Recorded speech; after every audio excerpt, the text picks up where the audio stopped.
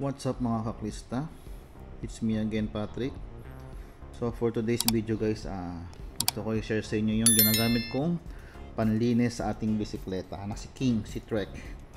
Okay, so ito siya. So yan ang pangalan niya.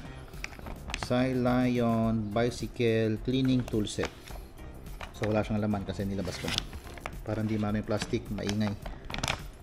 So ito yung nilalaman niya. O ito yung kagamitan na kung paano siya gamitin. So, ayan. So, pipicture na lang natin yan para mas clear. So, okay. Simulan na natin. So, ito yung mga nilalaman niyan. Una, ito. Yan.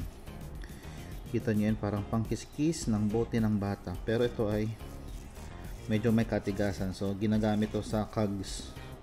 Okay, mostly sa cogs to. Sa mga singit-singit na maliliit na hindi maabot. So, ayan. So, ayan ang hawakan niya. Okay. So hindi ko man ito masyado ginagamit. Yan. Tapos ito, ito naman sumunod. Ito naman sa kags din to alam ko. Sa mga parang kumbaga parang toothpick to. Yung pangsungkit ng mga grasa-grasa. Yan. So hindi ko hindi ko man ginagamit to.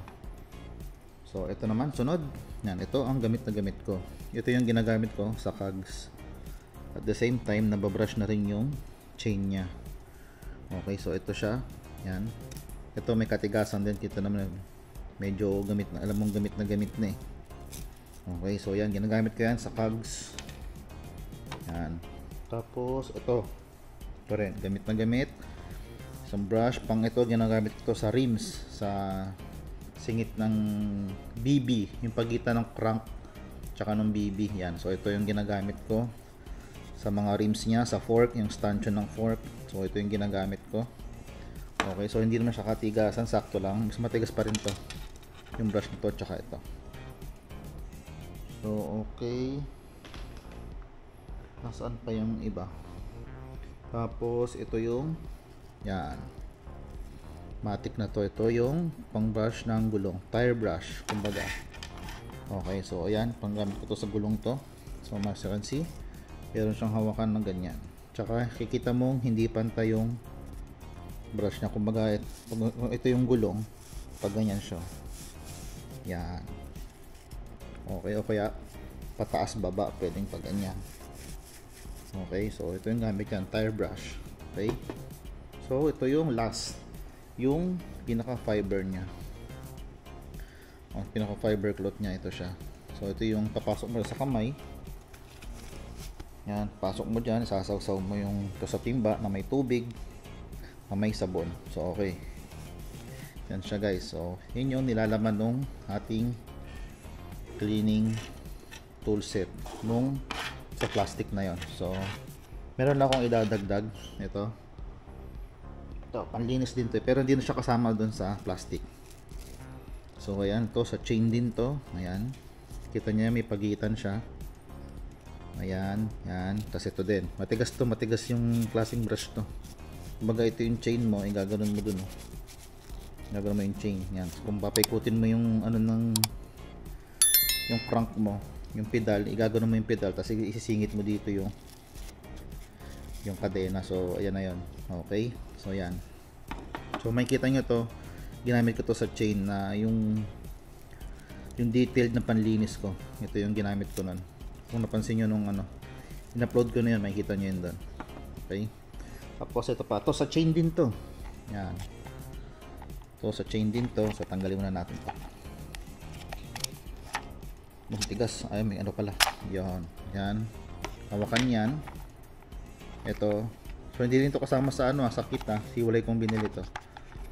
So ito yung mabilisang pang ano ng chain. Open. Ayan. Palagay open. Pag ganon ayan So meron siyang mga brush na maliliit sa labas, ah, sa loob. Yan. Okay, so pwede mo lagyan ng ano yan. Lalagyan mo siya ng tubig, tapos sabon, dishwashing, tapos degreaser. So diskarte mo na kung anong ilalagay mo dyan. So sa akin, ang ginagamit ko dyan, yung degreaser, tsaka dishwashing soap. Okay? So yan. So kung ano yung panlinis ko na ginagamit ko sa chain, yun din yung nilalagay ko dito na kumbaga ganyan ipapasok mo dyan yung chain dito ipapasok mo dyan yung chain tapos isasara mo to Saan ba yan? Yan, meron siyang guide na pangsara. Yan. Yan. Tapos, andun yung chain sa loob, di ba? Dito papasok yung chain eh. So, sinara mo na. Tapos, ito yung magiging hawakan mo. Yan. Tapos, hawakan mo dito. Tapos, ikot mo na yung pedal mo. So, yun na yung maglilinis sa loob nun. So, yun. Ito yung use niya. So, sa susunod na paglinis, so ito, papakita natin kung paano natin ginagamit yung ganitong tools. Okay, na panlinis. Okay, so ito naman mga tools na to is eh, hindi naman ganun ka necessary na bilhin. So, nasa sa inyo na yan. Kung may extra budget kayo, why not, di ba? Magandang investment naman yan sa panlilinis ng ating bisikleta. Okay, so marami yan sa Lazada at Shopee. Search nyo lang doon yung bicycle cleaning set o ano man. May kita nyo na yun doon. So, hindi ito kasama, itong dalawang blue na to. Hindi ito kasama doon sa may plastic. Okay, so pinakita ko na rin sa inyo para magkaroon ko ng idea yung mga gamit na panlinis sa ating bisikleta. Okay? So although pwede naman yung mga ordinary na ginagamit natin na basahan lang, tapos toothbrush, yun okay na yan. Diskarte na yan kung paano yung paglilinis niyan. Okay, so gamit lang kayo ng fiber cloth, mga ganon, para mabilis matuyo. Yun, tapos gumagamit din ako ng blower para pang panlinis, para mabilis matuyo yung frame, lalo na pagbakal pa yung frame natin. Tsaka yung mga chain para iwas iwas stuck yung mga ano, yung tawag doon mga tubig sa kadena para hindi siya mag-cause ng kalawang. Okay? So, yun lang guys. Sinare ko lang tong short video na to na sana magka-idea kayo sa bicycle cleaning set natin. Okay? So, yun lang guys. So, makikita nyo itong gagamitin ko sa mga susunod na videos natin. Bike wash o kung ano mang paglilinis. Okay?